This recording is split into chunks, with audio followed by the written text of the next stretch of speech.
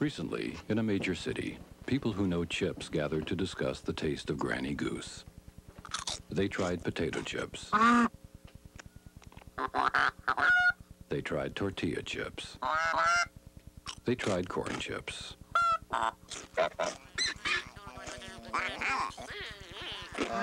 Finally, when all was said and done, they came to one conclusion.